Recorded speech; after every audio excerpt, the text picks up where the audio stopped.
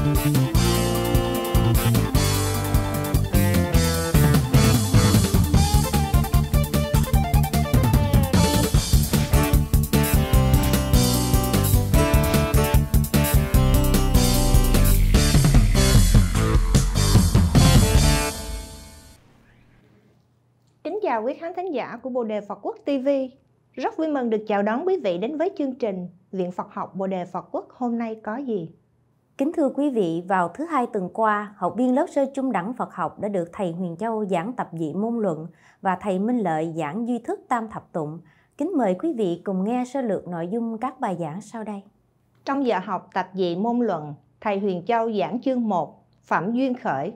Trong lịch sử học thuật Phật giáo, tập dị môn luận và pháp uẩn túc luận được ví như là đôi chân đưa hành giả đến vùng đất tịnh, không cần lầm đường lạc lối trong giáo nghĩa của chư Phật mười phương. Do đó, hành giả cần học pháp uẩn túc để hiểu giáo pháp và học tập dị môn để ghi nhớ định hình khuôn mẫu giáo nghĩa, làm nền tảng cho tất cả luận lý Phật Pháp.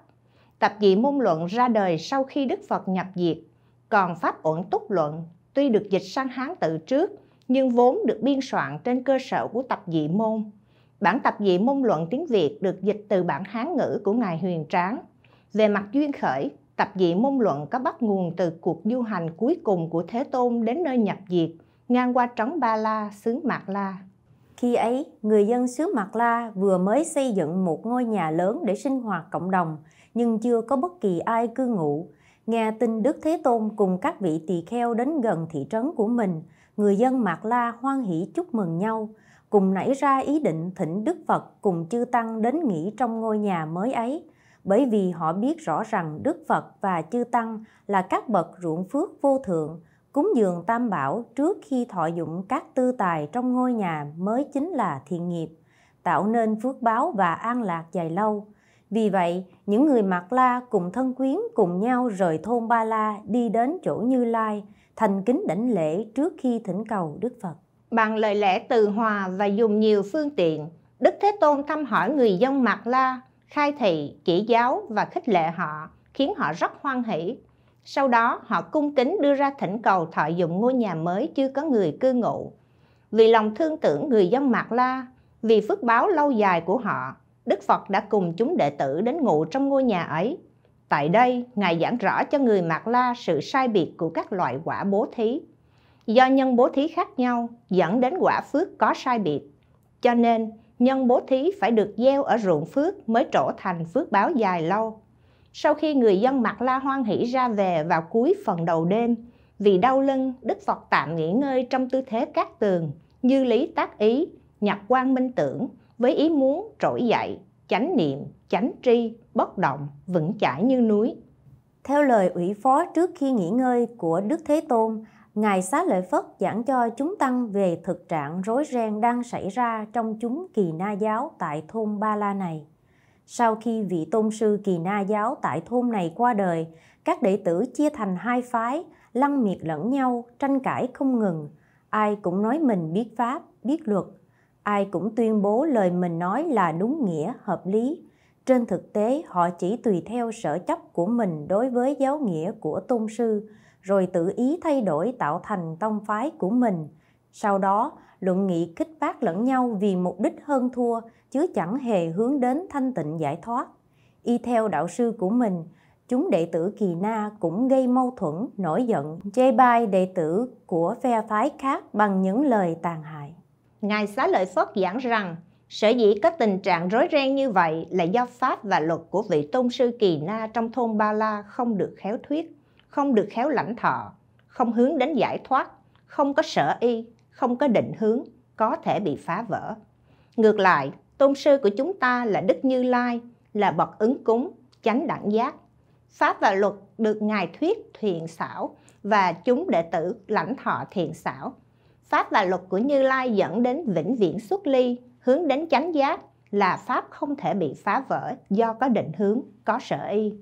Vì để tránh tình trạng tranh cãi rối ren như trong thôn Ba La, vì để pháp và luật của Như Lai được tùy thuận phạm hành lâu dài, và vì lợi lạc của vô lượng hữu tình, Ngài Xá Lợi Phất đề nghị chúng tỳ kheo cùng nhau hòa hợp, kết tập pháp và luật nhân lúc Đức Phật còn trụ thế. Cho nên, tập dị môn luận đã ra đời trong cơ duyên và mục đích như vậy. Trong giờ học di thức tam thập tụng, thầy Minh Lợi giảng chương 4 về thức năng biến thứ ba. Trong tám thức tâm vương, năng biến thứ nhất là A Lại Gia, năng biến thứ hai là Mạc Na và năng biến thứ ba chính là tiền lục thức. Dựa trên bài kệ thức năng biến thứ ba có sáu thứ sai biệt, tiếp nhận tốt tiền cảnh, thiện bất thiện câu phi. Sáu thứ sai biệt là ý nói về sáu thức bao gồm nhãn thức, nhị thức, tỷ thức, thiệt thức, thân thức và ý thức.